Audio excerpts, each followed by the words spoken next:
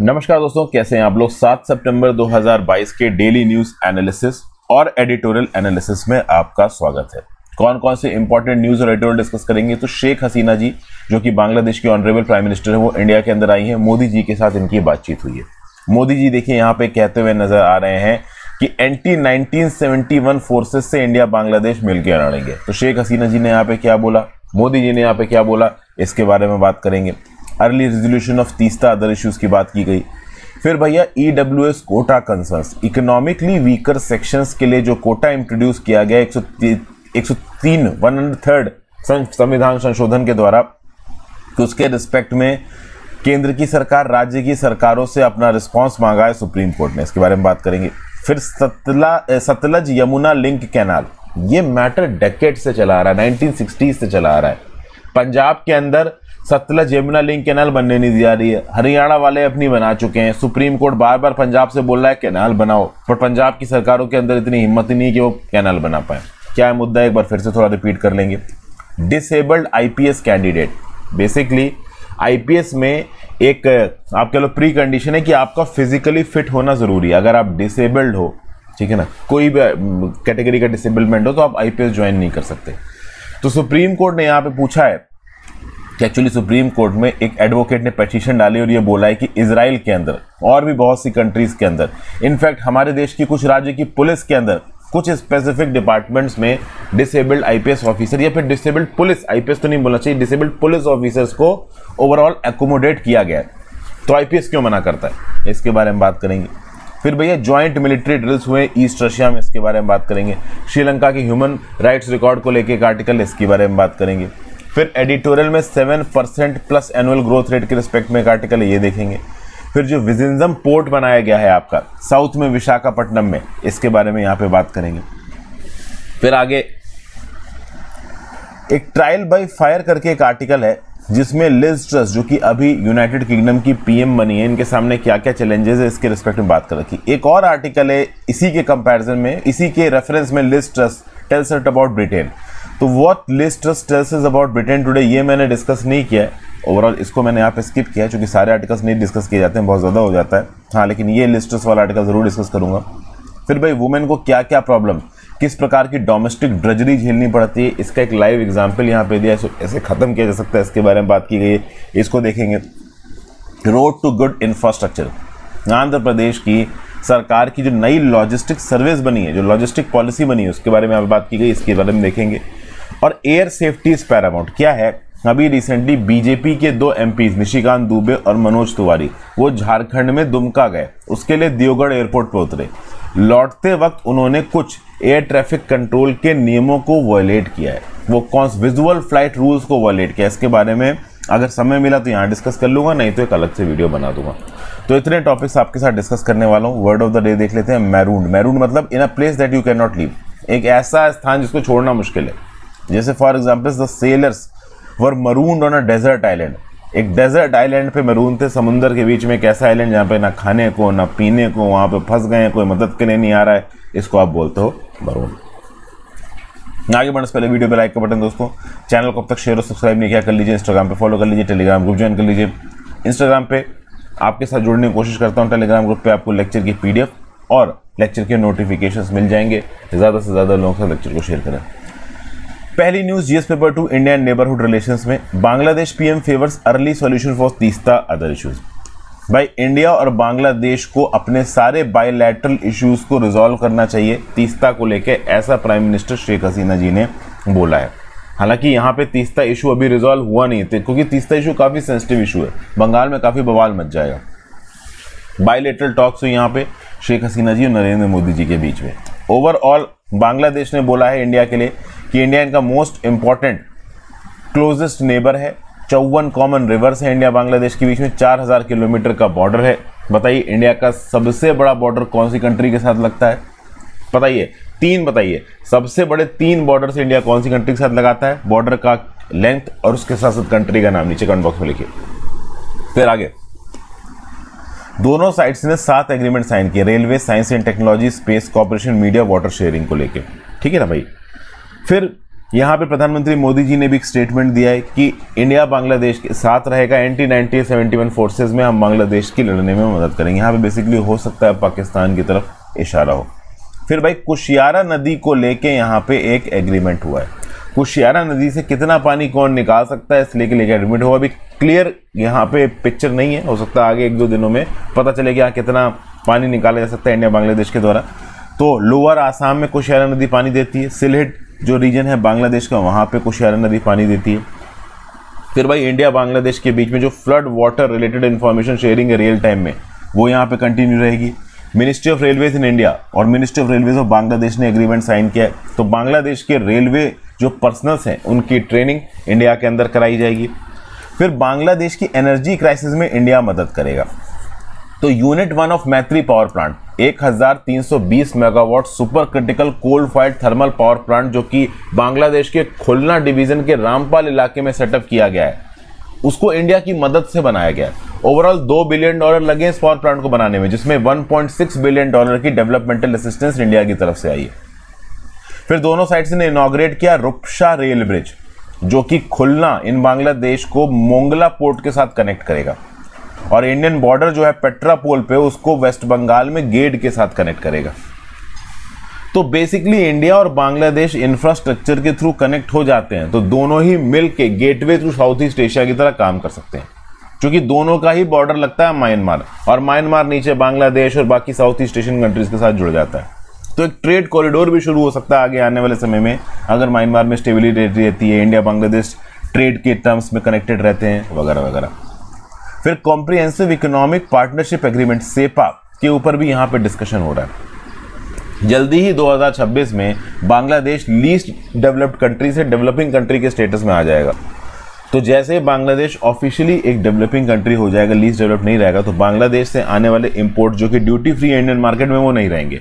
तो उस कंटेक्स्ट में भारत और बांग्लादेश मिलकर साइन करेंगे कॉम्प्रिहेंसिव इकोनॉमिक पार्टनरशिप एग्रीमेंट आ जाते हैं अगली न्यूज़ पे। GS paper two Indian judiciary population associate issues आज सॉरी पॉपुलेशन तो नहीं है हाँ इंडियन जुडिशरी के रिस्पेक्ट में आप काम कर सकते हो, और government policies S C R centre state two L E W S quota concerns देखिए, एक सौ तीनवा one hundred and third constitutional amendment act इसने क्या बोला?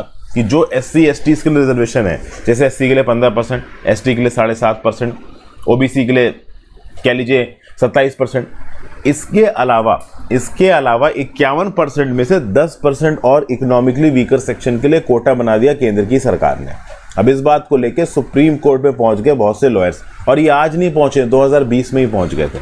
2020 में ही जो पटिशन थी, वो सुप्रीम कोर्ट में पहुँच गई थी। अगस्त 2020 में एक तीन जज की बेंच ने बोला कि भाई, तीन जज की बेंच इस पर्टिकुलर क्वेश्चन पे डिसाइड नहीं कर सकती। हमें एक बड़ी बेंच बनानी पड़ेगी। तो पाँच जज की बेंच बनेगी किसके लिए? One hundred and third constitutional amendment की कॉन्स्टिट्यूशनैलिटी को चेक करने के लिए। और फाइनली ये पाँच जज की बेंच बन गई है। इसको लीड कर रहे हैं chief justice of India U U Lalit साहब।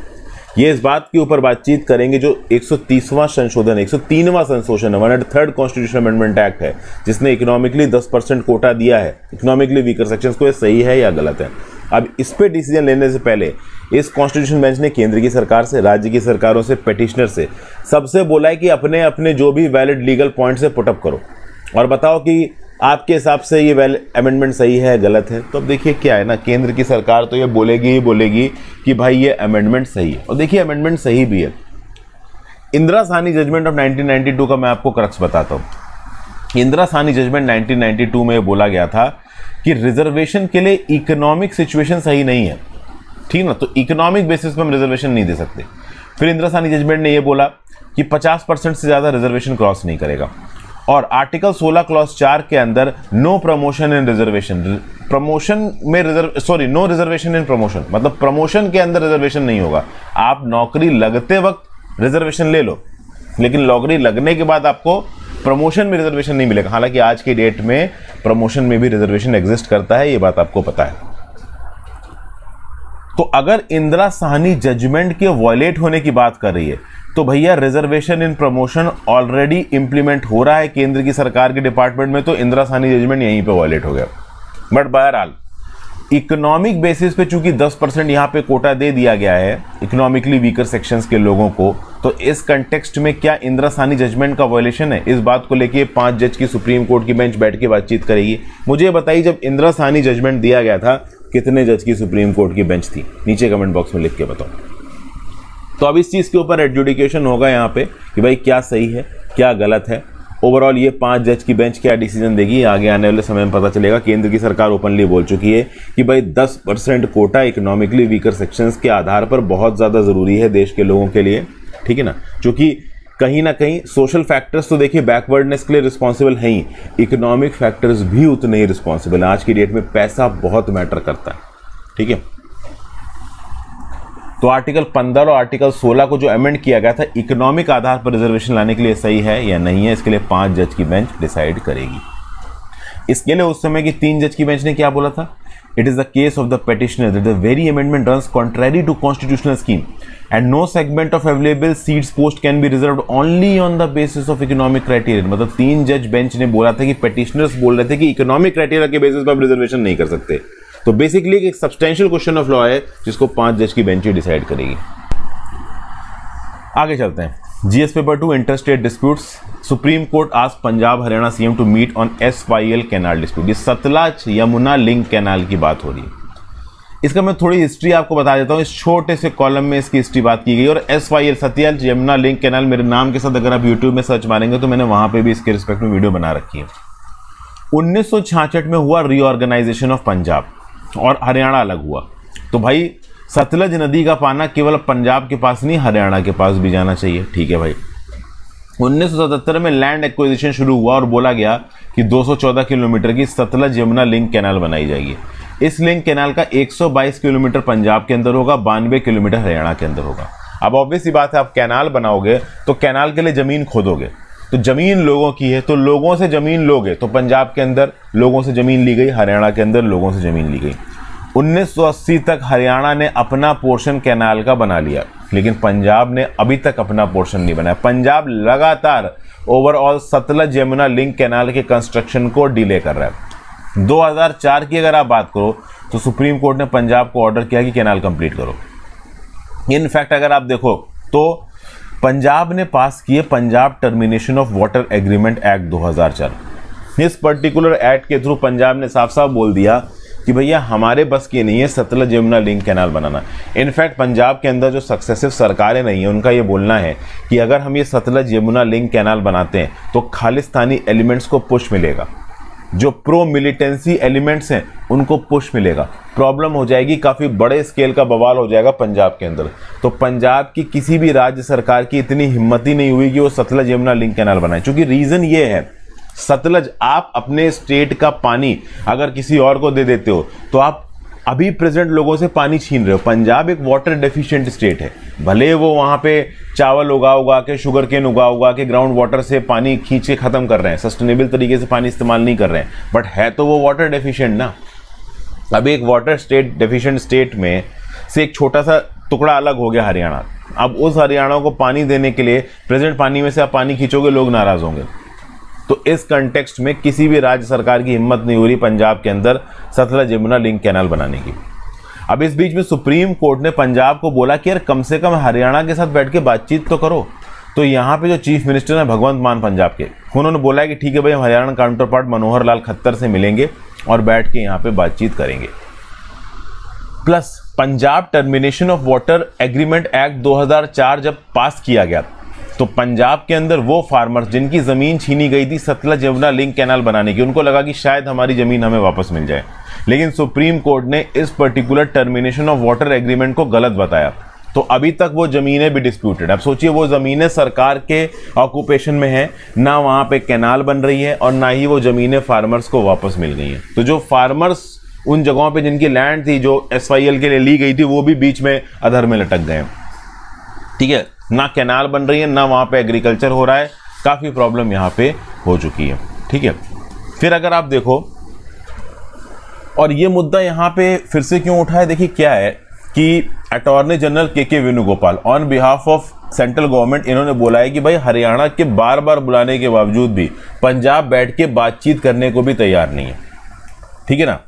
पाँच सितंबर को सेक्रेटरी मिनिस्ट्री ऑफ़ जल शक्ति वेणुगोपाल ये लेटर गया था पंजाब के बाद। पंजाब बेसिकली यहाँ पे निगोशिएटिंग टेबल पे आ ही नहीं रहा। ऐसा नहीं है कि पंजाब के पॉलिटिकल लीडर्स आना नहीं चाहते। एक वजह यह है कि सतलज यमुना लिंक कैनाल पंजाब के अंदर एक बहुत ज़्यादा सेंसिटिव इशू है।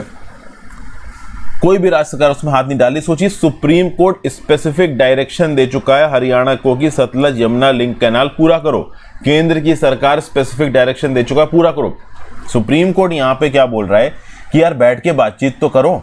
पंजाब के रिप्रेजेंटेटिव एक तरफ़, हरियाणा के रिप्रेजेंटेटिव एक तरफ़ बैठ के बात करो। सुप्रीम कोर्ट को बोलना है कि इंटरनेशनल बाउंड्री डिस्प्यूट सॉल्व हो जाते हैं। दुनिया भर में इंटरनेशनल वाटर एग्रीमेंट्स नेगोशिएट हुए हैं ब्रोकर हुए हैं। तो क्या दो राज्य आपस में बैठ के पानी की प्रॉब्लम को सॉर्ट आउट नहीं कर सकते? तो इस बात की बातें सुप्रीम कोर्ट ने बोली हैं। पंजाब के सीएम और हरियाणा के सीएम ने बोल दिया कि ठीक के बातचीत करेंगे, लेकिन देखिए, इस बातचीत में हरियाणा का सीएम बोलेगा, सतलज यमुना लिंक कैनाल पूरी करो। पंजाब में अभी अभी आपकी सरकार आई और आपकी सरकार कभी भी पॉलिटिकली इतना बड़ा डिसीज़न नहीं ले सकती कि वो सतलज यमुना लिंक कैनाल बना दे। तो ये इशू तो देखिए लिंगर करने वाला है, ये इतनी आसानी से रिजॉल्व नहीं होगा ऐसा मुझे लगता है। आपकी इसके बारे में क्या राय है, आप बताइएगा। खासकर कोई पंजाब से अगर इस वीडियो को देख रहा हो तो आप ज़रूर बताओ क्योंकि लोकल लेवल पर आप इन्फॉर्मेशन को जानते होगे।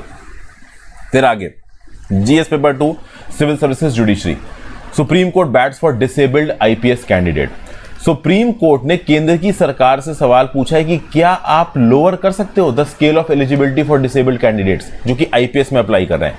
अभी अगर आप सिविल सर्विसेज़ का नोटिफिकेशन देखोगे तो आईपीएस में अप्लाई करने के लिए कुछ टर्म्स एंड कंडीशन इंपोज कर रखी तो डिसेबल्ड कैंडिडेट्स ऑब्वियसली यहाँ पे आईपीएस के लिए अप्लाई नहीं कर सकते। लेकिन सुप्रीम कोर्ट का बोलना है कि अगर आप इजरायली अमेरिकन और कैनेडियन फोर्सेस को देखो तो उन्होंने जैसे तैसे डिसेबल्ड को एकोमोडेट किया है। अभी इस प्रकार से एकोमोडेट नहीं किया कि डिसेबल्ड को फ्रंट लाइन पे लड़ने के लिए भेज दिया। बहुत सी जगह होती है जैसे कि साइबर क्राइम यूनिट हो गई। हेडक्वार्टर्स में बैठ के सारे टास्क को यू नो सिंकोनाइज करना मैनेज करना। एक सीनियर आईपीएस ऑफिसर मान लो डीजीपी का रैंक का हेड ऑफ़िस में बैठा है तो सबको मैनेज कर रहा है। लेकिन इंडिया के अंदर होता क्या है कि जैसे फॉर एग्जांपल अगर आपको डीजीपी बनना है तो प्रमोशंस पाने के लिए एक कंडीशन होती है कि आपने ऑन फ़ील्ड कुछ जॉब करी हो कोई सेंसिटिव असाइनमेंट किया हो। जैसे कि फॉर एग्ज़ाम्पल जब आप पुलिस में भर्ती हुए तो सेंसिटिव असाइनमेंट क्या होता है? किसी थाने या दो तीन थाने का आपको इंचार्ज बनाया गया। ठीक है, ये सेंसिटिव असाइनमेंट है। आप मान लीजिए पुलिस इंस्पेक्टर हो। अगर आप थाने के इंचार्ज हो सेंसिटिव असाइनमेंट है। क्योंकि लाइव मर्डर के, चोरी के रेप के, ठीक है ना, आप कह लो, और अडल्ट्री के बहुत प्रकार के केसेस आपके सामने आएँगे। लेकिन अगर आप किसी ट्रेनिंग इंस्टीट्यूट में बैठे हो या फिर राज्य की सरकार के सचिवालय में बैठे हो फ़ाइल वर्क कर रहे हो तो फिर वो सेंसिटिव असाइनमेंट नहीं होगा। सेंसिटिव असाइनमेंट को कभी कभी फ़ील्ड पोस्टिंग भी बोलते हैं। तो बेसिकली आईपीएस के अंदर प्रमोशन के लिए फ़ील्ड पोस्टिंग करना ज़रूरी है। तो इस कंटेक्स्ट में केंद्र की सरकार ने क्लियर कट नियम कानून बना रखे हैं कि भाई ओवरऑल आईपीएस फिजिकली डिसेबल्ड नहीं होने चाहिए। लेकिन यहाँ पे जो सुप्रीम कोर्ट की बेंच बनी, जिसमें जस्टिस इंदिरा बनर्जी और एम एम सुंदरेश हैं इन्होंने ये पूछा है कि यार, पुलिस के अंदर तो साइबर क्राइम जैसे डिपार्टमेंट भी होते हैं, यहाँ पे तो स्टाफ ही नहीं है। तो जो नए रिक्रूटेड आईपीएस डिसेबल्ड है, कम से कम आपको साइबर क्राइम जैसे डिपार्टमेंट में तो रख ही सकते हो ना। अगर इसराइली आर्मी डिसेबल्ड पर्सन को एकोमोडेट कर सकती है तो आईपीएस क्यों नहीं कर सकता? ये सबमिट किया सीनियर एडवोकेट अरविंद दत्तन ने NGO national platform for the rights of disabled के लिए। तो ये बहस इस समय पे सुप्रीम कोर्ट में जारी है। ठीक है? मोस्ट प्रॉब्ली यहाँ पे अब केंद्र की सरकार से सवाल पूछा जा रहा है केंद्र की सरकार को यहाँ पे जवाब देना होगा। सुप्रीम कोर्ट के जजेस ये बोल रहे हैं कि हम जानते हैं कि जो प्रमोशन होता है, वो प्रमोशन फ़ील्ड पोस्टिंग के आधार पे होता है। बट इन एनी वेज कुछ असाइनमेंट्स तो ऐसे हो ही सकते हैं जहाँ पे आप डिसेबल्ड लोगों को अकोमोडेट कर सकते हो। अब ये सवाल पूछा यहाँ पे सुप्रीम कोर्ट ने। लेट्स सी यहाँ पे सरकार क्या जवाब देती है। इनफैक्ट इंडिया के अंदर ही बात करें तो कुछ कैपेसिटीज में सीआरपीएफ के अंदर डिसेबल्ड पर्सन अलाउड है। दिल्ली और केरला की पुलिस में भी अलाउड है। कुछ स्पेसिफिक कैपेसिटीज में फ़ील्ड में नहीं। बट आईपीएस में अलाउड नहीं है। तो आईपीएस में क्यों नहीं आप अलाउड कर रहे हो? तो ये क्वेश्चन यहाँ पे पूछा गया है। ठीक है ना भाई? इस क्वेश्चन को उठाया है सीनियर एडवोकेट जो कि सुप्रीम कोर्ट में है, मिस्टर दत्तर साहब ने। किसके बिहाफ पे उठाया है? तो NGO national platform for the rights of disabled के आधार पर के आपके लोग पिटिशन पे उठाया है। सुप्रीम कोर्ट ने यहाँ पे सवाल पूछा है। केंद्र की सरकार को यहाँ पे जवाब देना पड़ेगा। लेट्स यहाँ पे क्या जवाब दे के निकल के आता है। अभी के लिए देखा जाए तो एक अप्रैल तक सुप्रीम कोर्ट ने प्रोविजनली अलाउ कर दिया था, जो भी ओवरऑल यूपीएससी का एग्ज़ाम दे रहा है कि UPSC IPS Indian railway protection force services और DANIPS Delhi Daman Diu Dadra Nagar Haveli Andaman Nicobar and Lakshadweep police इन सब में ओवरऑल फिजिकली फिट कैंडिडेट चाहिए। बट अभी के लिए प्रोविजनली डिसेबल्ड अप्लाई कर सकते हैं। हालाँकि सुप्रीम कोर्ट ने फाइनल डिसीज़न नहीं लिया है। फाइनल डिसीज़न सोच समझ के सुप्रीम कोर्ट बाद में लेगा कि हाँ भाई डिसेबल्ड को अलाउ किया जा सकता है नहीं किया जा सकता फिर अगला, पुतिन ने ज्वाइंट मिलिट्री ड्रिल अटेंड किए चाइना और बाकियों के साथ। GS paper two international relation में न्यूज़ आपको काम आएगी। तो रशियन प्रेसिडेंट व्लादिमिर पुतिन ने वॉर गेम्स कंडक्ट कराए हैं ईस्टर्न रशिया में। और इन वॉर गेम्स में चाइना ने और दूसरे नेशंस ने पार्टिसिपेट किया है। ओवरऑल वेस्ट के साथ टेंशन रशिया की क्या चल रही है आपको पता है। यूक्रेन में जंग चल रहा है। इसके बावजूद भी यहाँ पे रशिया, ईस्टर्न रशिया में वॉर गेम्स कंडक्ट करवा रहा है। शायद रशिया यहाँ पे ये सिग्नल भेजने की कोशिश कर रहा है कि भले हम यूक्रेन के साथ जंग लड़ रहे हैं, तभी हमारे पास कोई सैनिकों की कमी नहीं है। ये जो वॉस्टॉक 2022 ईस्ट 2022 एक्सरसाइज है, ये रशिया के फार ईस्ट और सी ऑफ़ जापान में सेवन फायरिंग रेंजेस में हो रही है। पचास हज़ार इसमें इन्वॉल्व हैं, पाँच हज़ार वेपन यूनिट्स इन्वॉल्व हैं 140 aircraft carrier 60 warships India China Laos Mongolia, Nicaragua, Syria, इन सब की आर्मीज यहाँ पे आके पार्टिसिपेट कर रही हैं। इनफैक्ट चाइना ने तो बड़े स्केल पे पार्टिसिपेट किया है। चाइना के 2000 troops 300 military vehicles 21 combat aircraft तीन वॉरशिप इन ड्रिल्स में पार्टिसिपेट कर रहे हैं। ये वही ड्रिल्स हैं जिसमें इंडिया ने सी ऑफ़ जापान वाले वर्जन में पार्टिसिपेट करने को मना कर दिया था, जापान की सेंसिटिविटी के चलते। बट ओवरऑल वॉस्टक 2022 एक्सरसाइजेज में इंडिया ने पार्टिसिपेट किया है। और रिसेंटली देखो तो रशिया और चाइना ने बहुत सारे ज्वाइंट वॉर गेम्स कंडक्ट किए, जिसमें नेवल ड्रिल्स हैं पेट्रोल्स हैं लॉन्ग रेंज बॉम्बर्स का इस्तेमाल किया गया सी ऑफ़ जापान में ईस्ट चाइना शी में तो ये सब चीज़ें हैं। इनफैक्ट पिछले साल रशियन ट्रूप्स को चाइनीज़ टेरिटरी में डिप्लॉय किया गया था ज्वाइंट मैनूवर्स के लिए। तो आप कह सकते हो कि ओवरऑल मॉस्को और बीजिंग के जो मिलिट्री टाइज हैं, वो बहुत ज़्यादा बढ़ रहे हैं। और ये एक ऐसी वॉस्टक 2022 एक ऐसी मिलिट्री ड्रिल थी जहाँ पे नेवी, आर्मी एयरफोर्स सब एक साथ यहाँ पे ओवरऑल पार्टिसिपेट कर रहे हैं। और शायद यहाँ पे रशिया एक मैसेज भेजने की कोशिश कर रहा है वेस्टर्न वर्ल्ड को कि ये मत सोचो कि हम जंग लड़ रहे हैं तो हमारे पास वॉर गेम्स के लिए सोल्जर्स नहीं है, हमारे पास बहुत से सोल्जर्स हैं। अब इस कंटेक्स्ट में अगर आप देखो तो मिस्टर पुतिन और चाइनीज़ प्रेसिडेंट जी जिंगपिंग ने बड़े स्ट्रांग लेवल पे पर्सनल टाइज बना रखी स्ट्रेटेजिक पार्टनरशिप कर रखी। ठीक है हो सकता है कि आगे आने वाले समय में एक मिलिट्री अलायंस भी बना लें ये लोग, वेल एंड गुड। तो रशिया के साथ चाइना इंगेज कर रहा है, इसमें कोई डाउट नहीं है। बट क्या इसका चाइना को नुकसान नहीं होगा? क्या रशिया के साथ इंगेज करने की वजह से चाइनीज़ बिजनेसेस को नुकसान नहीं होगा? देखिए, भले ही चाइना की सरकार और चाइना के लीडर्स ओपनली रशिया के साथ इंगेज करते नज़र आ रहे हो, रशिया को लेके वेस्टर्न कंट्रीज़ को धमकियाँ देते नज़र आ रहे हो बट जो चाइनीज़ बिजनेसेस हैं, ये इस ओवरऑल सिनारियो को अलग तरीके से देख रहे हैं। चाइनीज़ बिजनेसेस बहुत हद तक यूएसए और यूरोप के मार्केट्स पे डिपेंडेंट है। और अगर ये चाइनीज़ बिजनेसेस रशियन बिज़नेस के साथ इंगेज करते नज़र आते हैं तो इनके पास से यूरोप और यूएस का मार्केट छूट सकता है। और रशिया का मार्केट इतना बड़ा नहीं कि यूएस यूरोप को नाराज़ कर दिया जाए। तो यहाँ पे ऐसा बताया जा रहा है कि बहुत से चाइनीज़ बिज़नेस हैं जो रशिया के साथ इकोनॉमिकली इंगेज करने को तैयार नहीं है। क्योंकि उनको पता है कि रशिया के साथ इकोनॉमिकली इंगेज किया तो वेस्टर्न मार्केट छूट जाएँगे वेस्टर्न मार्केट छूट जाएँगे बिज़नेस ठप हो जाएगा। इन फैक्ट रशिया चाइना के साथ इस हद तक जुड़ रहा है वेस्टर्न सैंक्शंस को हटने के लिए कि आगे आने वाले समय में चाइना बहुत सारे टर्म्स डिक्टेट करने वाला है रशिया को। चाइना देखिए, एक अपॉर्चुनिस्टिक कंट्री है। जब रशिया का डिपेंडेंस चाइना के ऊपर बढ़ेगा तो चाइना डोमिनेंट होगा। ओवरऑल चाइना यहाँ पे जो चाहेगा वो रशिया से करवाएगा। मिस्टर मेलविन, नील मेलविन, जो कि हेड है इंटरनेशनल सिक्योरिटी स्टडीज़ के Royal United Services Institute in London के। इनका ये बोलना है कि रशिया चाइना की जो डायकोटोमी है, जो दोस्ती है, इसमें चाइना बहुत ज़्यादा डोमिनेटिंग पार्टनर होगा और रशिया से बहुत से कंसेशन डिमांड करेगा चाइना उसकी मदद करने के लिए। फिर अगली news UN slams Sri Lanka rights record GS paper two में न्यूज़ आपको काम आएगी। इंटरनेशनल इंस्टीट्यूशन और ह्यूमन राइट्स वॉल्यूशन दोनों में। श्रीलंका का जो पास्ट ह्यूमन रिकॉर्ड है, वो आज की श्रीलंका की क्राइसिस के लिए रिस्पॉन्सिबल है, ऐसा ऑफिशियली बोला है यूनाइटेड नेशंस की ह्यूमन राइट्स चीफ ने। जो पहले श्रीलंका ने ह्यूमन राइट्स एब्यूजेस किए हैं इकोनॉमिक क्राइम्स किए हैं करप्शन किया है, उसकी वजह से आज की डेट में श्रीलंका कोलैप्स कर रहा है। पहली बार ऐसा हुआ है कि किसी UN high commissioner for human rights ने साफ़ साफ़ बोला है कि पास्ट के ह्यूमन राइट्स के चलते आज की डेट में श्रीलंका की इकोनॉमिकली हालत खराब है। और इसीलिए ओवरऑल सस्टेनेबल इंप्रूवमेंट के लिए श्रीलंका को अपने अंडरलाइंग फैक्टर्स को एड्रेस करना चाहिए। खासकर ये जो ह्यूमन राइट्स वॉल्यूशन है, इनको एड्रेस करना चाहिए। जो भी पास्ट में या प्रेजेंट में ह्यूमन राइट्स एब्यूसेस हुए इकोनॉमिक क्राइम्स हुए करप्शन हुए, इनको बहुत सस्टेनेबली और ट्रांसपेरेंटली एड्रेस करने की ज़रूरत है श्रीलंका को। अगर श्रीलंका ऐसा करेगा तो जाके ओवरऑल चीज़ें ग्राउंड लेवल पे ठीक कर पाएगा। ये जो रिपोर्ट प्रिपेयर की गई है, ये प्रिपेयर की गई है by the office of Michelle Bachelet जो अपना term as United Nations human commissioner human rights commissioner complete कर चुकी हैं।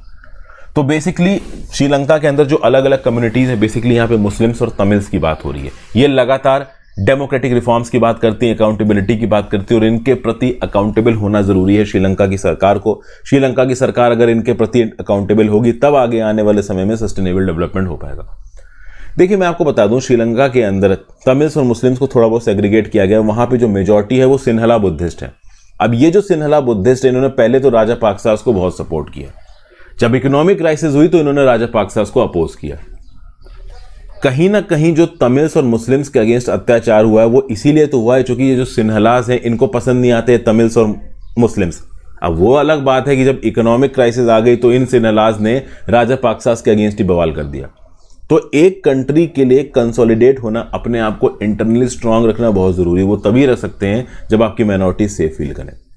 ओके तो इस कंटेक्स्ट में रिपोर्ट तो आ गई है ह्यूमन राइट्स कमीशन की। इसके रिस्पेक्ट में श्रीलंका क्या जवाब देगा?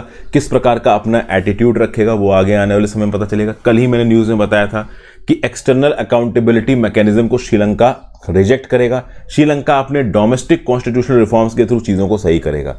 लेकिन जो सिविल वॉर के विक्टिम्स हैं उनके फैमिली मेंबर्स का साफ़ साफ़ बोलना है कि हमें किसी भी डोमेस्टिक मैकेनिज्म पे भरोसा नहीं है, हम इंटरनेशनल इंटरवेंशन चाहते हैं। अब किस हद तक इंटरनेशनल इंटरवेंशन हो जाएगा, ये आगे आने वाले समय में पता चलेगा।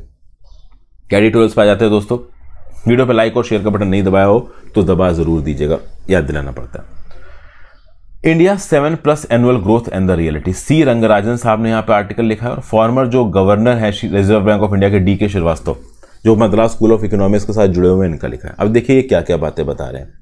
नेशनल स्टेटिस्टिकल ऑफ़िस ने real GDP growth quarter one of 2022-23 release की। ये निकल के आई साढ़े तेरह परसेंट। पहले प्रोविजनल एस्टिमेट था आरबीआई का 16.2 परसेंट का। इससे दो दशमलव सात परसेंट कम निकल के आई साढ़े तेरह परसेंट। अब अगर जो अभी के लिए एस्टिमेट्स हैं आरबीआई के एनएसओ के, बाकी क्वार्टर्स के, जैसे सेकंड क्वार्टर के लिए एस्टिमेट है six point two percent Indian economy बढ़ेगी। थर्ड क्वार्टर के लिए four point one percent four quarter के लिए फोर परसेंट अगर इतनी इकोनॉमी बढ़ती तो इंडिया की economy total six point seven percent बढ़ने वाली दो हज़ार बाईस तेईस में. अब ओवरऑल अगर आप इस ग्रोथ को प्री पैंडेमिक टाइप पीरियड से डिस्कस करो. प्री कोविड दो जीडीपी लेवल अगर आप देखो तो क्वार्टर वन ऑफ़ 2019-20 में जीडीपी थी 35.5 लाख करोड़ और क्वार्टर वन ऑफ़ 2022-23 में हो रही 36.9 लाख करोड़. तो एक्चुअली में जो growth pre covid pandemic level से दिख रही है, वो दिख रही है तीन दशमलव आठ परसेंट मतलब अभी भी हम कोविड 19 के पूरे निगेटिव इफेक्ट्स को कंपनसेट नहीं कर पाए हैं अकोमोडेट नहीं कर पाए हैं. और सबसे खास बात यहाँ पे ये है कि इस साल जो ओवरऑल 2022 की जो ओवरऑल ग्रोथ है, वो 6.7 परसेंट एक्सपेक्टेड है. अगर इसको 7 परसेंट बढ़ाना है 6.7 परसेंट कब होगा? जब, यहाँ पे देखिए लिख रखा है, जब क्वार्टर थर्ड और क्वार्टर फोर में ग्रोथ होगी कितने की? 4.1 परसेंट और 4 परसेंट की। अगर क्वार्टर थ्री और क्वार्टर फोर में आप ग्रोथ कर लो कितने की? पाँच परसेंट की। तब जाके सात परसेंट ओवरऑल 2022-23 में ग्रोथ देखने को मिलेगी। अब उतनी ग्रोथ हो पाएगी, नहीं हो पाएगी, आगे आने वाले समय में पता चलेगा। अब इसी कंटेक्स्ट में अगर देखा जाए तो जो eight gross value added sectors है, जैसे फॉर एग्जांपल अगर आप पब्लिक एडमिनिस्ट्रेशन की बात करो तो जो फ़र्स्ट क्वार्टर की ग्रोथ परफॉर्मेंस है, वो एवरेज से 12.7 परसेंट ज़्यादा है। डिफेंस एंड अदर सर्विसेज़ में 26.3 परसेंट ज़्यादा। ट्रेड होटल्स ट्रांसपोर्ट में 25.7 परसेंट ज़्यादा। कंस्ट्रक्शन में 16.8 परसेंट ज़्यादा। इलेक्ट्रिसिटी गैस वाटर सप्लाई में 14.7 परसेंट ज़्यादा। ये ऑब्वियस बात है, पिछले साल के कंपैरिजन में बात हो रही है। Agricultural growth first quarter of 2022-23 में साढ़े चार परसेंट ज़्यादा है पिछले साल के कंपैरिजन में। मैन्युफैक्चरिंग में ग्रोथ 4.8 परसेंट है। ओवरऑल ग्रोथ से थोड़ा कम नज़र आ रही है। लेकिन ये ग्रोथ तो हमने कंपेयर की पिछले साल के फ़र्स्ट क्वार्टर से 2021-22 के फ़र्स्ट क्वार्टर से। और 2021-22 में क्या हो रहा था? भाई कैंडमिक का इफ़ेक्ट था। अगर इसको आप प्री कोविड लेवल 2019-20 से कंपेयर करो तो आपको देखिएगा कि ठीक है भाई मैन्युफैक्चरिंग तो बढ़ी हुई नज़र आ रही है। फ़र्स्ट क्वार्टर ऑफ़ 2022-23 को फ़र्स्ट क्वार्टर ऑफ़ 2019-20 से कंपेयर करोगे तो सात परसेंट से मैन्युफैक्चरिंग बढ़ती नज़र आ रही है। लेकिन trade hotel transport sector 15.5 percent घटता नज़र आ रहा है। कंस्ट्रक्शन एक दशमलव दो परसेंट बढ़ता नज़र आ रहा है। तो कंस्ट्रक्शन एक दशमलव दो परसेंट बढ़ा है। मैन्युफैक्चरिंग सात परसेंट बढ़ी है, लेकिन ट्रेड होटल ट्रांसपोर्ट पंद्रह पॉइंट पाँच परसेंट घटा है। उसके बाद कुछ और फिगर्स हैं। Private final consumption expenditure. ये अगर आप देखो तो बढ़ रहा है। कुछ फैक्टर्स जैसे private final consumption expenditure, gross fixed capital formation. Private final consumption expenditure मतलब कि डिमांड साइड में। मार्केट में चीज़ों को कंज्यूम करने के लिए सरकार की मदद के बिना जितने भी लोगों ने आके मार्केट से चीज़ वगैरह खरीदी, इसको आप कह सकते हो प्राइवेट फाइनल कंजम्पशन एक्सपेंडिचर और ग्रॉस फिक्स्ड कैपिटल फॉर्मेशन क्या हो गया? कि भाई कितने कैपिटल का फॉर्मेशन हुआ, कितना पैसा यहाँ पे पब्लिक और प्राइवेट सेक्टर दोनों के साथ मिलकर बनाया गया। तो ये कहीं ना कहीं इंप्रूवमेंट इन दो फैक्टर्स में होता नज़र आ रहा है। ये याद रखिएगा। हम डिमांड साइड की बात कर रहे हैं। अगर बहुत डिटेल में आप प्राइवेट फाइनल कंजम्पशन एक्सपेंडिचर समझना चाहते हो ग्रॉस फिक्स्ड कैपिटल फॉर्मेशन समझना चाहते हो तो आपको मेरी रमेश सिंह इकोनॉमिक्स की वीडियो देखनी पड़ेगी।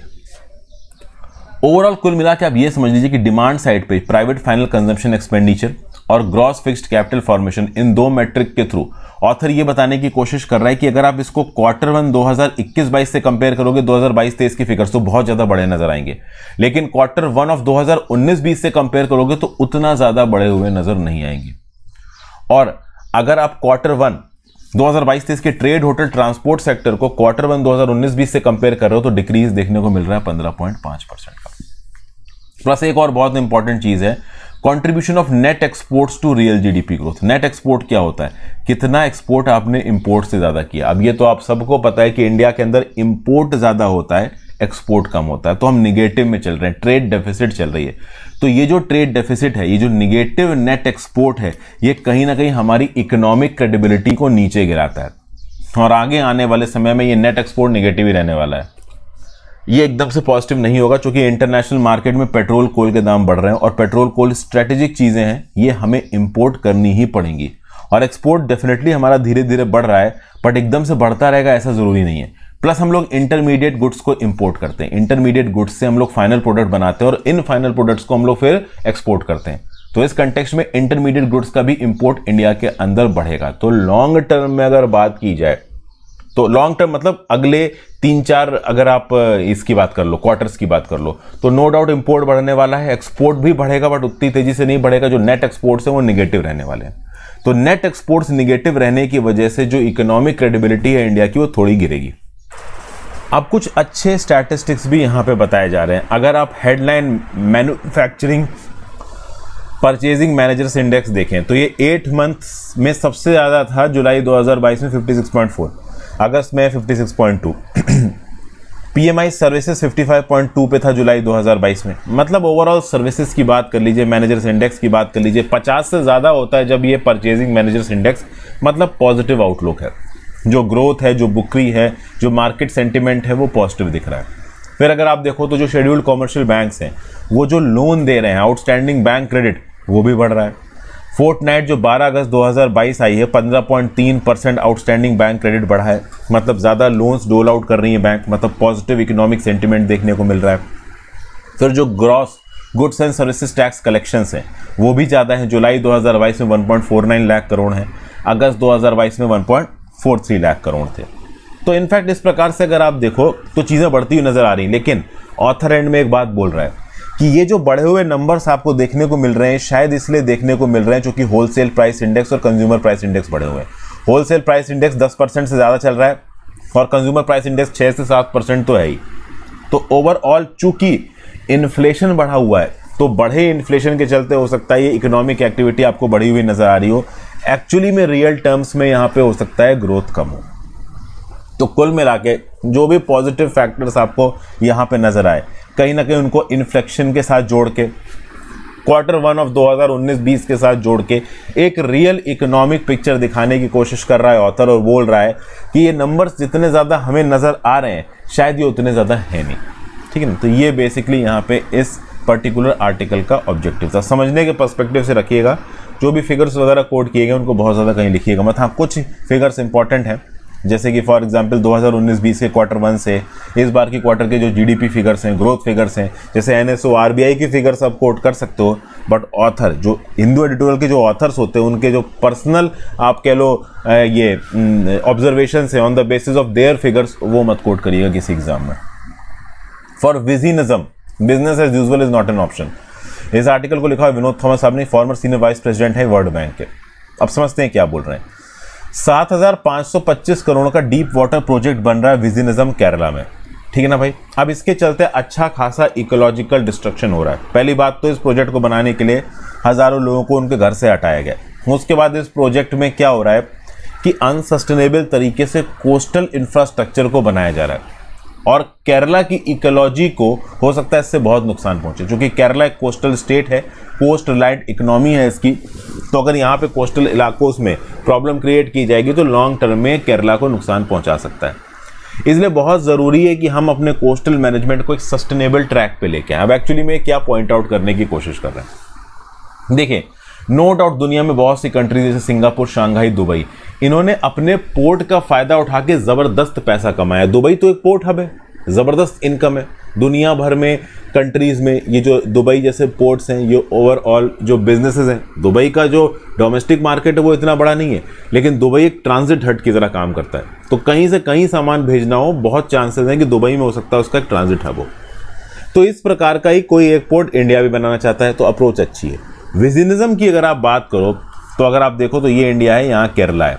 तो ये जो केरला है, ये अगर आप ईस्ट में चले जाओ, चाहे वेस्ट में चले जाओ ईस्ट वेस्ट की जो सी लाइन्स है ना, इनमें बहुत ही आप कह लो ज़बरदस्त प्रोस्पेक्ट की तरह ये विजनिज्म का केरला का पोर्ट निकल के आता है। ईस्ट वेस्ट शिपिंग रूट्स में, अगर किसी भी शिप को रोकना हो लोडिंग अनलोडिंग करनी हो तो विजनिज्म पोर्ट को इस्तेमाल किया जा सकता है। विजनिज्म पोर्ट के पास गहराई भी 20 मीटर की अच्छी खासी है तो बड़े वेसल्स यहाँ पे आके डॉक कर सकते हैं। तो नो डाउट यहाँ पे विनिज्म बोर्ड को डेवलप करना एक अच्छा ऑप्शन है। अब आ जाते हैं फाइनेंसिस पे। केरला की सरकार ओवरऑल विजिनिज्म पोर्ट का 67 परसेंट फाइनेंसिंग बियर कर रहा है। और बाकी जो 33 परसेंट फाइनेंसिंग होगी, वो कंसेशनियर बियर करेगा। अब आप बोलोगे कंसेशनियर कौन होता है? तो देखिए पोर्ट को सीधे सीधे केरला की सरकार नहीं चलाएगी। पोर्ट को चलाने के लिए हमें एक, आप कह लो कॉमर्शियल प्राइवेट एंटरप्राइज चाहिए, जिसको पोर्ट बिज़नेस में ठीक ठाक एक्सपीरियंस हो, जिसको एक्चुअली में पोर्ट चलाना आता हो, जो शिपिंग लाइंस के साथ ओवरऑल कोऑर्डिनेट कर सके।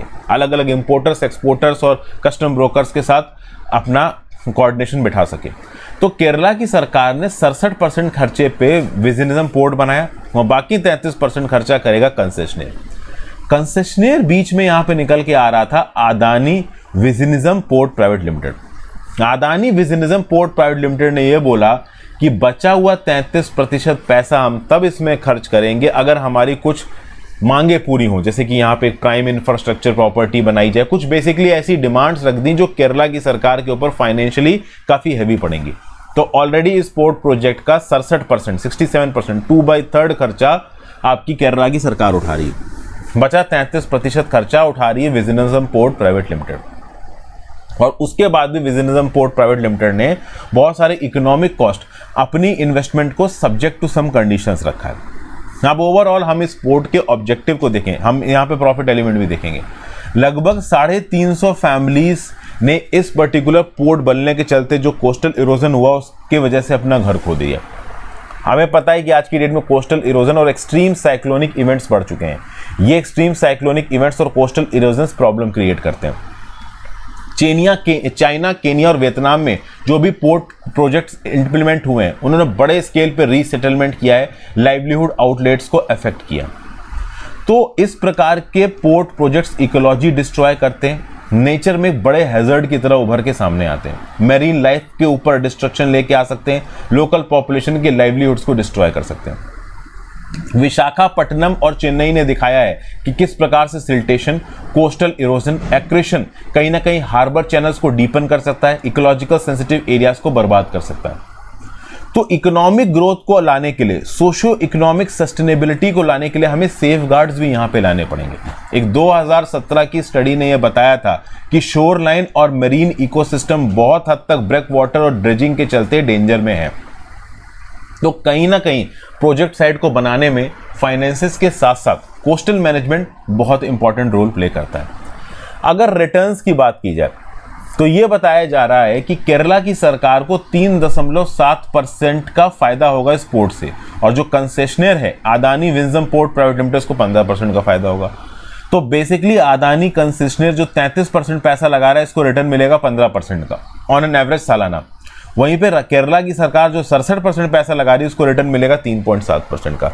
तो यहाँ पे एक्स्ट्रॉर्डनरी तरीके से केरला की सरकार ने फाइनेंसिस को बियर किया। ज़्यादा प्रॉफिट कमाया कंसेशनर ने। उसके ऊपर से हैवी ह्यूमन टॉल आया। उसके ऊपर से यहाँ पे सोशियो इकोनॉमिक सस्टेनेबिलिटी पे सवाल उठाया जा रहा है। जो कोस्टल मैनेजमेंट है, जो कोस्टल इकोसिस्टम है, वो इसकी वजह से तबाह हो रहा है। फिर ओवरऑल जिस विजिनिज्म पुआर स्ट्रेच पे ये विजिनिज्म पोर्ट बना है, ये एक बायोडाइवर्सिटी हॉटस्पॉट है। तो यहाँ पे इस पोर्ट के बनने के चलते जो मरीन प्रोटेक्टेड एरिया है, वो डिस्ट्रॉय हो रहा है। फिर इस प्रोजेक्ट के लिए जो इन्वायरमेंटल इम्पैक्ट असेसमेंट कराया गया था मई 2013 में, इसको बहुत हद तक क्रिटिसाइज किया गया है, क्योंकि इसमें बहुत सारे फैक्चुअल एरर्स बताए जा रहे हैं। तो ये सब चीज़ें फिर वेस्टर्न घाट्स के अंदर, दो हिलों को काट के जो आप कह लो मलबा था, उस मलबे से विजनिज्म पोर्ट को बनाया गया। तो वेस्टर्न घाट्स के अगर आप पूरे के पूरे हिल काट दोगे तो उसके भी तो इकोलॉजिकल कॉन्सिक्वेंसेज निकल के आएँगे। उन इकोलॉजिकल कॉन्सिक्वेंसेज को कौन झेलेगा? तो ये सब बातें ओवरऑल बताई जा रही है। अभी एक स्टडी पब्लिश हुई जिसने बताया कि 2006 से लेके 2020 के टाइम पीरियड में तिरुवनंतपुरम कोस्ट का 650 एकड़ का इलाका लगभग दो दशमलव बासठ स्क्वायर किलोमीटर का इलाका समुद्र के अंदर चला गया। इस लेवल पे समुद्र इस समय पे डोमिनेट हो रखा है। रेट ऑफ़ एरेजन इतना ज़्यादा हाई है। तो ये सब चीज़ें क्यों हो रही हैं? ये सब चीज़ें इसीलिए हो रही हैं क्योंकि ओवर प्रॉपर तरीके से मॉनिटरिंग नहीं हो रही है। जो कोस्टल डेवलपमेंट किया जा रहा है, वो सस्टेनेबल तरीके से नहीं किया जा रहा है। अभी लेटेस्ट शोरलाइन रिपोर्ट निकली। किसके द्वारा? National Institute of Ocean Technology के द्वारा। बीच प्रोफ़ाइल और सेटेलाइट एनालिसिस यहाँ पे की गई। इससे पता चला कि जो पोर्ट का नॉर्दर्न कोस्ट है पुनथुरा वलियाथुरा शानमुगम वेली यहाँ पे बहुत सिग्निफिकेंट अमाउंट ऑफ़ एरोजन देखने को मिला है। तो ये सब चीज़ें ओवरऑल आपको यहाँ पे नज़र आ रही हैं। एंथ्रोपोजोनिक क्लाइमेट चेंज भी यहाँ पे इंडियन कोस्ट को उखाड़ रहा है। सी लेवल्स बहुत तेज़ी से राइज कर रहे हैं। तो ये सब ओवरऑल फैक्टर्स यहाँ पे निकल के आ रहे हैं।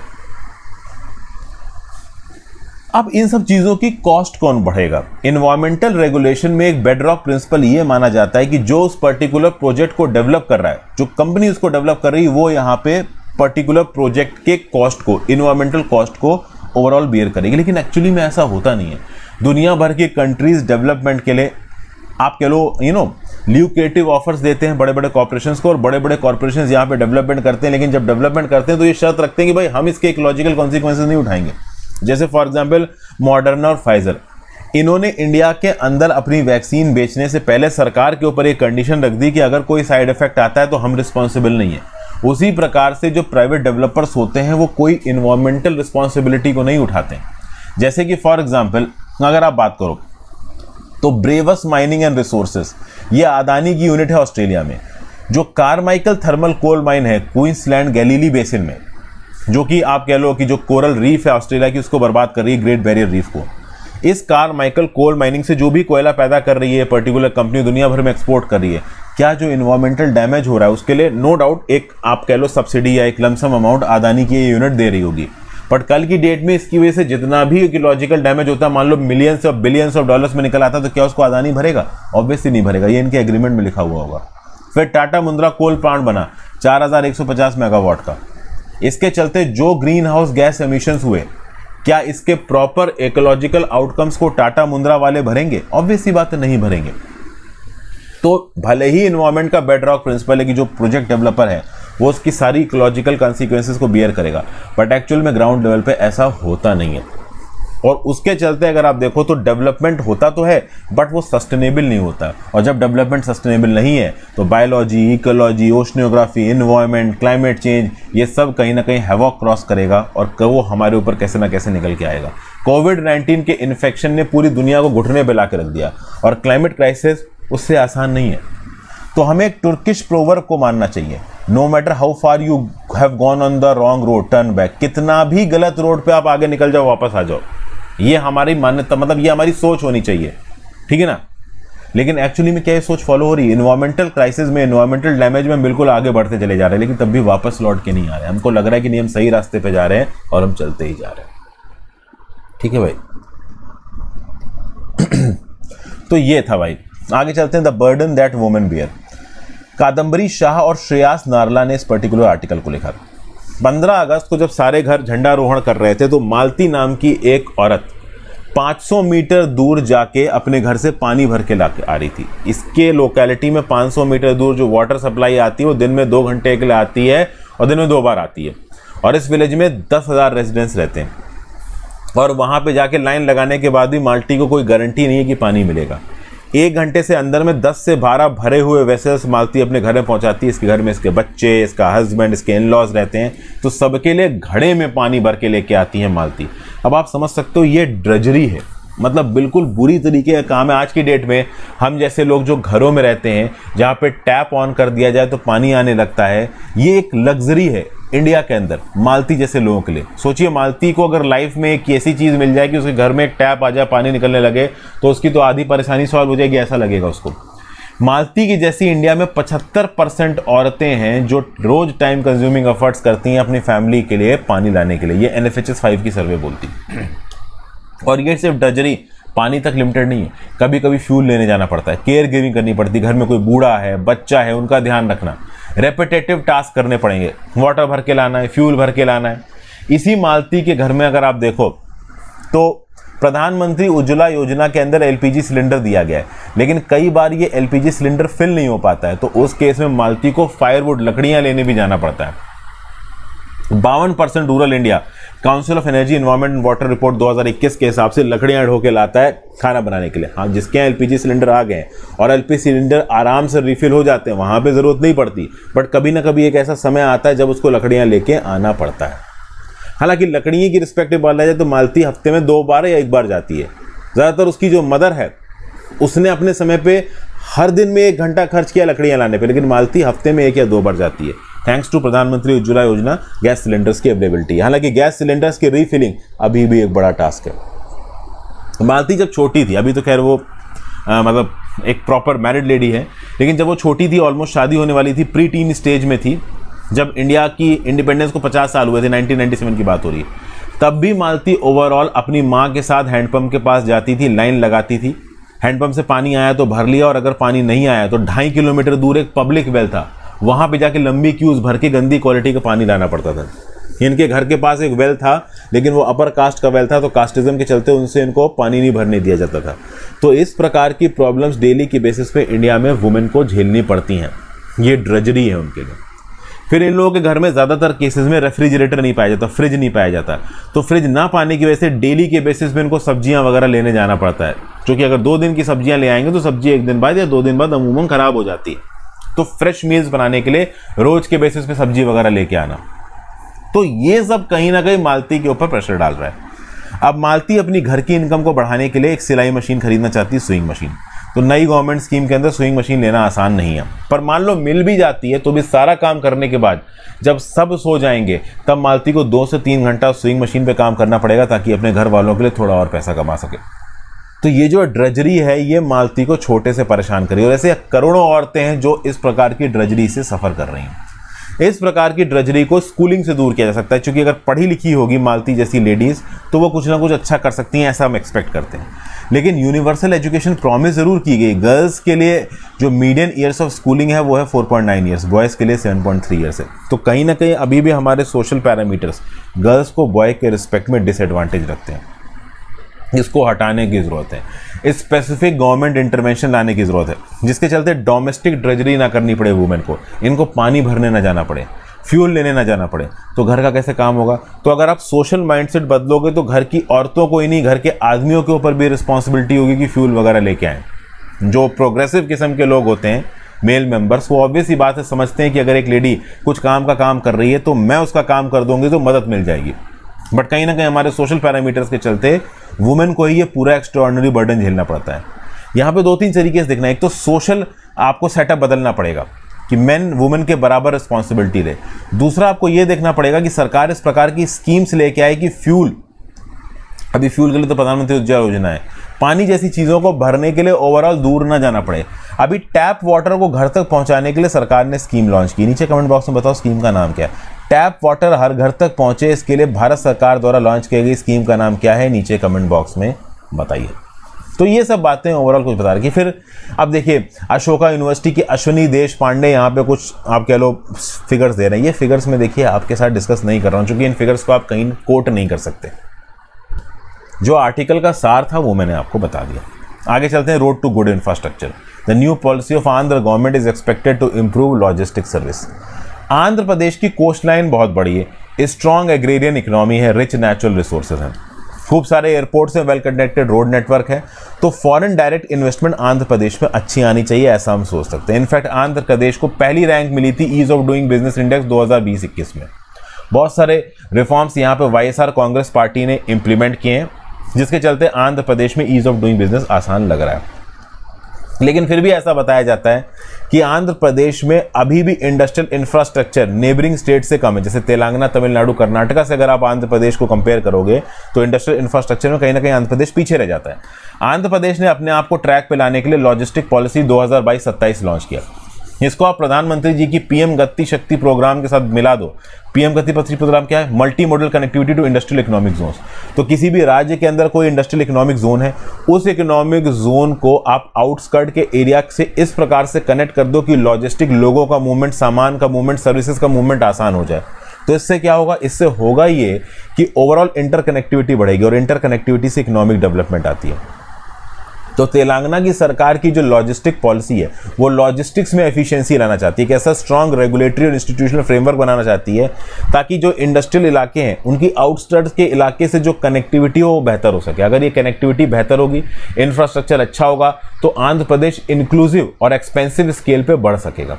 एक स्टेट लॉजिस्टिक प्लान बना रही है सरकार आंध्र प्रदेश की department of promotion of industry and internal trade की गाइडलाइंस के हिसाब से। इसके लिए एक इम्पावर्ड ग्रुप ऑफ़ सेक्रेटरी बनाया गया है नेशनल मास्टर प्लान के साथ इसको अलाइन करने के लिए। तो ओवरऑल आप कह सकते हो कि आंध्र प्रदेश की सरकार बहुत से इनिशिएटिव्स ले रही है लॉजिस्टिक्स के फ़ील्ड में इंफ्रास्ट्रक्चर के फ़ील्ड में इंडस्ट्रियलाइजेशन के फ़ील्ड में, जिससे आंध्र प्रदेश आगे आने वाले समय में एक डेवलपमेंट हब की तरह उभर के आ सके। एक स्टेप ऐसा ये है कि मल्टी मॉडल लॉजिस्टिक पार्क बनाए जा रहे हैं कृष्णापट्टम में, विशाखापट्टनम में, अनंतपुर में, कोपार्थी में, कड़प्पा डिस्ट्रिक्ट में आते हैं। फिर राजा मुंद्री और काकीनाड़ा के बीच में भी इस प्रकार के मल्टी मॉडल लॉजिस्टिक पार्क बनाए जा रहे हैं। तो ये ओवरऑल यहाँ पे इस पर्टिकुलर आर्टिकल में दो तीन चीज़ें बताएगी। मतलब आंध्र प्रदेश किस प्रकार से डेवलप कर? अच्छा आंध्र प्रदेश में चेन्नई विशाखापट्टनम कॉरिडोर चेन्नई बेंगलुरु और हैदराबाद बेंगलुरु इंडस्ट्रियल कॉरिडोर ये कुछ ऐसे इंडस्ट्रियल कॉरिडोर्स हैं जो कि बहुत हद तक इंफ्रास्ट्रक्चर में डेवलप हो चुके हैं और अभी कुछ डेवलपमेंट बाकी है। तो डेवलप हो भी चुके हैं उनमें डेवलपमेंट हो भी रही है। तो ये सारे प्रोजेक्ट्स आंध्र प्रदेश की डेवलपमेंट में पुश दे सकते हैं। फिर बहुत सारे रेलवे प्रोजेक्ट्स भी बनाए जा रहे हैं आंध्र प्रदेश के। जैसे 309 किलोमीटर लंबी श्री काला हस्ती नादीगुड़ा रेलवे लाइन बनाई जा रही है, जो कि साउथ सेंट्रल रेलवे के अंदर आती है। तो नो डाउट इस प्रकार के जो डेवलपमेंटल प्रोजेक्ट्स हैं, वो आगे आने वाले समय में आंध्र प्रदेश को एक डेवलपमेंटल पुश दे सकते हैं, इसमें राज्य की सरकार और केंद्र की सरकार, दोनों अपना मेजर रोल प्ले कर रही हैं। हाँ इसमें बहुत सारा लैंड एक्विजिशन करना है, खर्चा करना है, वो खर्चा केंद्र की सरकार को, राज्य की सरकार को आपस में बांटना पड़ेगा। ये लॉजिस्टिक पॉलिसी पीएम गति शक्ति प्रोग्राम के कन्फ्रंटेशन में ना आए, उसके साथ सिंक्रोनाइज किया जा सके। इसके लिए राज्य की सरकार, केंद्र की सरकार को मिल काम करना चाहिए। ये सब बातें ओवरऑल यहाँ पर बताई गई हैं। ठीक है भाई? फिर trial by fire Liz Truss को कंजर्वेटिव पार्टी के बिहाफ पे फॉरेन सेक्रेटरी थी प्राइम मिनिस्टर बना दिया गया यूके का. अपने आप में यूके की प्राइम मिनिस्टर ये तब बन रही है जब एनर्जी कॉस्ट यूके में ऑल टाइम हाई है रिसेशनरी विडमिंट्स ज़्यादा हैं. यूक्रेन के वॉर ने सब कुछ हिला के रख दिया है मॉस्को का बेलिजरेंस बढ़ा हुआ है. ओवरऑल अब देखो तो कंजर्वेटिव पार्टी के अंदर कोई बहुत कॉम्प्रिहेंसिव मेजोरिटी नहीं मिली लिज ट्रस्ट को. लिज ट्रस्ट को 81,326 पार्टी मेंबर्स ने सपोर्ट किया। ऋषि सुनाक को 60,399 ने सपोर्ट किया। In fact 80 percent Conservative party के मेंबर्स ने यहाँ पे वोटिंग की है। 50 परसेंट वोट भी नहीं मिले हैं यहाँ पे लिस्ट ट्रस्ट को। मतलब लिस्ट ट्रस्ट ने कंजर्वेटिव पार्टी की मेंबरशिप से 50 परसेंट वोट भी नहीं ले पाई है। लेकिन उसके बाद भी यहाँ पे पीएम बनी है।